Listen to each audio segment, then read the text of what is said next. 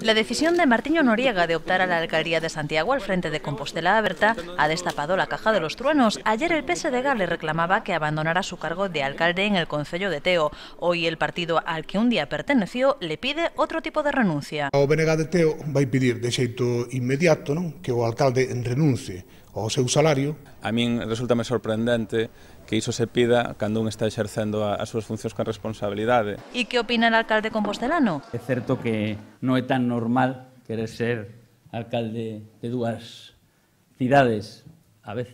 Eu creo que unha persoa pode facer unha campaña electoral as campañas electorales coido que non están retribuídas e exercer a súa responsabilidade nunha institución que a miña responsabilidade levo exercendo durante, durante oito anos e supoño que será a mesma que as persoas que están candidatadas e están facendo campaña electoral no Concello de Santiago dende postos retribuídos da oposición ou dende a propia alcaldía. E mentras Agustín Hernández non contempla a competencia... Non teño ninguna preocupación no respecto da decisión que acaba de adoptar o alcalde nacionalista de Teo, compañeiro de partido de Xosé Manuel Beiras. Compostela Aberta va a por todas. Eu reitero o que dixen onte, esta é unha candidatura para gañar e a miña labor aquí é simplemente ser de facilitador e de catalizador. Sempre dicen que son unha persoa responsable.